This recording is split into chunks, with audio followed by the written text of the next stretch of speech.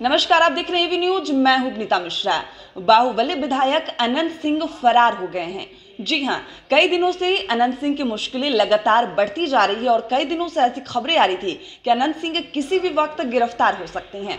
हालाँकि पुलिस ने इस मामले में कोर्ट में वारंट इशू जारी करवाया। जब कोर्ट ने वारंट जारी कर दिया, तब पुलिस अनंत सिंह के आवास पहुँची और कल देर रात जैसे ही पुलिस उनके आवास पहुँची, अनंत सिंह वहाँ से पिछले दरवाजे से फरार हो गए। सिंह कहाँ है? वो फ़िलहाल फरार है। आप लोगों ने किसी, और लोगों से पूछताछ है? कुछ और लोगों से भी पूछताछ भागने का आप लोगों ने समय दे दिया।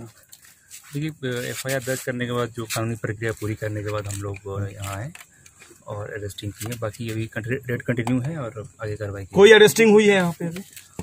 जैसे कि पहले बताया बाढ़ में पूर्व में जून मास में एक फायरिंग का एक मामला दर्ज हुआ था।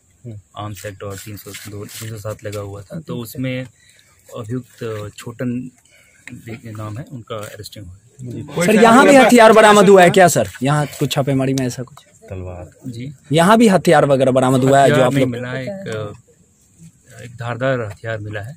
और बाकी ब्रीफिंग एएसपी साहब। आपको बता दें कि अनंत सिंह कई दिनों से मुश्किलों में फंसते जा रहे हैं। उन पे एक जो वायरल ऑडियो वायरल हुआ था उसके बाद से ही अनंत सिंह की मुश्किलें लगातार बढ़ती जा रही है। उनके बाद आवाज़ पर छापेमारी की गई।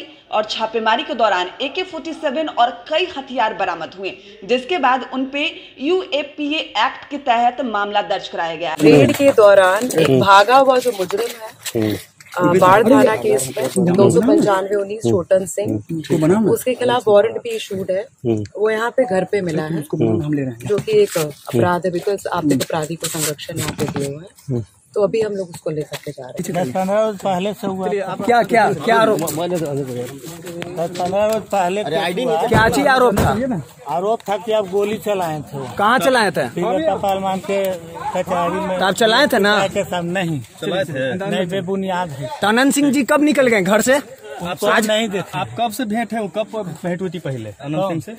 हमको कल भेंट हुआ। नहीं तो आज यहाँ से। अभी हम नहीं आज थे ना घर पे। आज थे ना घर पे। आपको बता दें कि यूएपीए एक्ट के तहत जब कोई मामला दर्ज होता है तो वो आदमी आतंकी घोषित हो जाता है। तो इसके साथ ही अनंत सिंह आतंकी घोषित हो गए हैं और साथ ही साथ अब उन पे गिरफ्तारी की तलवार लटक रही है। पुलिस उन्हें गिरफ़्तार करने पहुँची लेकिन सरकार फरार हो गए हैं। तो अभी के लिए बस इतना ही। बिहार और झारखंड की तमाम खबरों के लिए देखते रहिए एवी न्यूज़